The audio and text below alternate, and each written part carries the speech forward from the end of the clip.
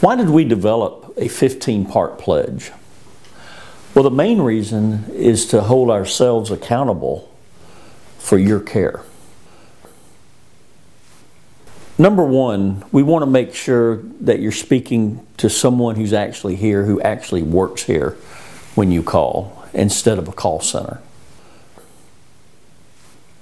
Number two is strictly about transparency. What our goal is for people who visit our website to, to know that what you see is what you get.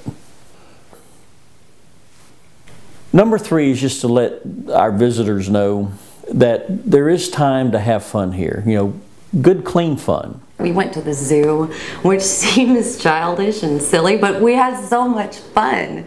Went to the Gulfarium, we went bowling, we just do normal uh, things that people do to have fun. You don't need alcohol to do them. And it also gives you the sense that when you get back into the real world, you can do these activities without the alcohol and have a blast.